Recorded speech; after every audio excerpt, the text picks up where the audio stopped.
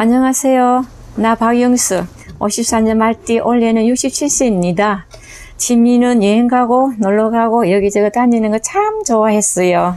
근데 다들 알다시피 요즘 아무 데도 못 갔잖아요. 뭐 하고 지내느냐고? 뭐 했겠노? 하루 종일 TV 보고 또 학원 보고 요즘 노인 우울증이 문제라는데 이게 딱 겪어보니까 알겠더라고. 근데 누가 노인 일자리를 추천해 주더라고. 그래서 신청해 보았는데 며칠 뒤 진짜로 전화가 왔네. 사실 그때 많이 고민했죠. 내가 이 나이에 어디 가서 일을 하나. 근데 일단 와보라는 복지사님 말씀을 믿고 갔죠. 떨리더라고요.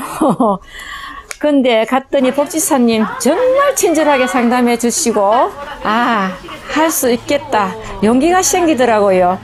담당할게요. 박영수 어르신. 요즘 아침에 일어나서 출근할 때 제일 즐거워요.